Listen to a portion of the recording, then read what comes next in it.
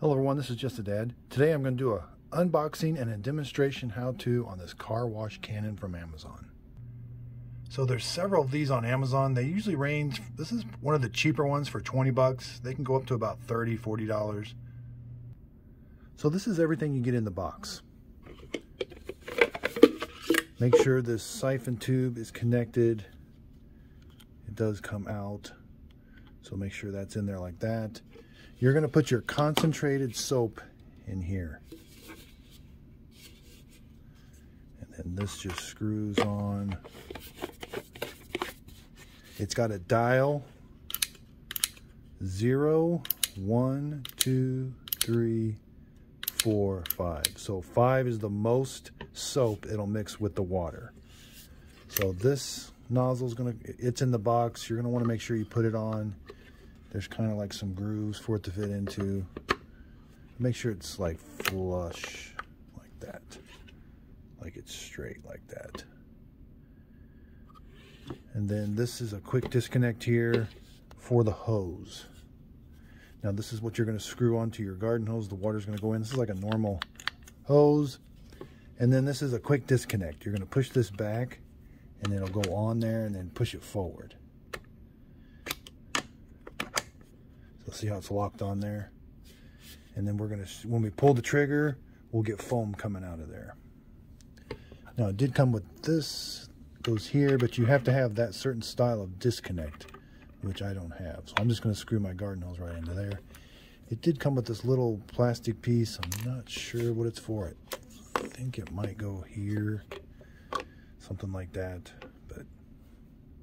So here's where it talks about the flows. So with if you got it on zero, it's not going to suck up any uh, concentrated soap. But if you got it on one, it's 100 to 1. Two is 40 to 1. Three is 30 to 1. Four is 20 to 1. And five is 10 to 1.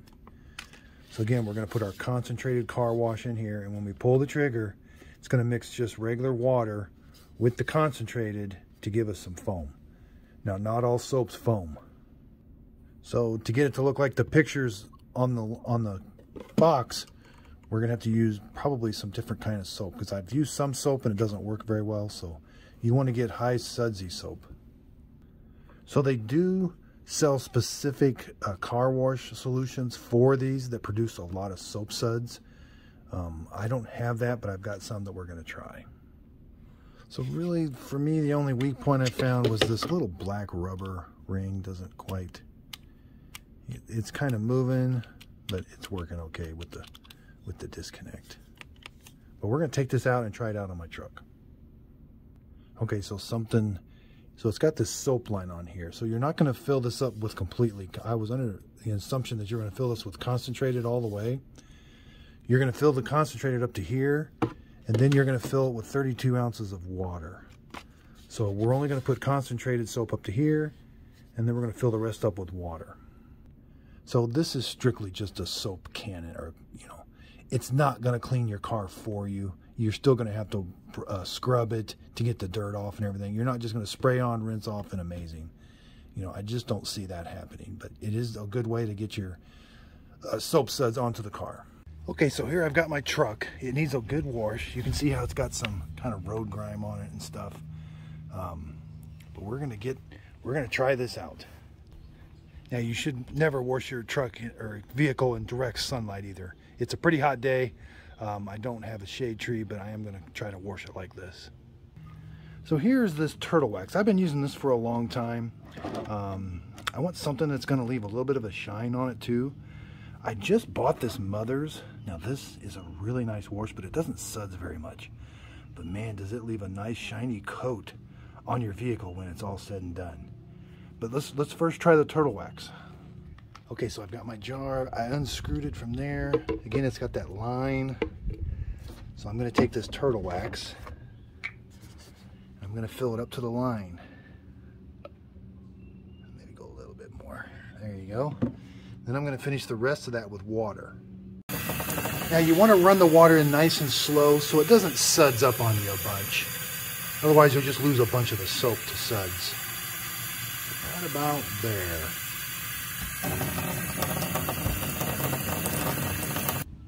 Okay, so here we've got the, it's full of water now. We filled it up to the soap line. You're simply just gonna turn this on and it'll get nice and tight. So there it's nice and tight. Now I'm gonna take this off. I'm gonna connect this to my hose. I'm gonna set this on three. We'll, we'll try all different settings. Again, you don't want zero is no soap. That means it's not gonna suck up any soap and combine it with the water. So let's, let's start off with three and see what it does. Okay, so I unscrewed my this is what I normally wash my truck with. I've got this little quarter turn valve here. Um, now make sure there is a O-ring, there is a war like a standard garden hose washer in there. Make sure that's there. And then you're just going to screw this on to the end of your garden hose. Okay, I've got it screwed on. I got it opened up. Now you can have water just come out of this if you spray it. And I can adjust this and this this little lever here will lock it so I don't have to hold it down.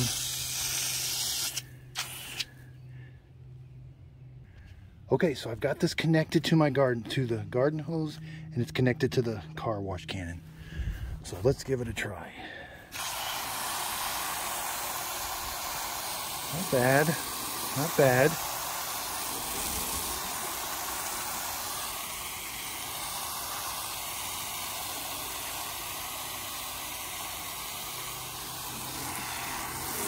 You can see there we're using quite a bit of the soap. All right, let's try it on. Let's go all the way to five. This is maximum soap. Okay, I can definitely tell that is definitely putting on a lot more soap. Yeah. But it's also going to drain the cannon quicker too.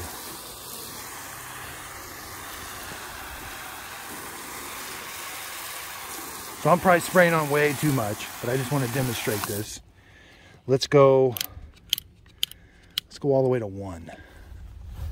Let's go over here. I haven't done much here. Yeah, you can definitely tell it's a lot less soap. You still get some soap, but a lot less soap. So I did half my car. So three or four seems to be about the right.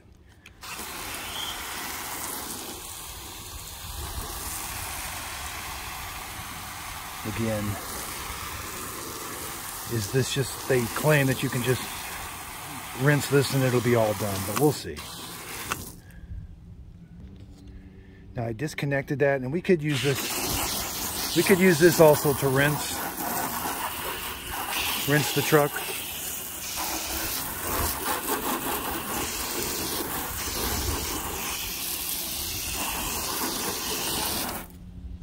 Okay, so I haven't scrubbed it or anything. I just rinsed it off.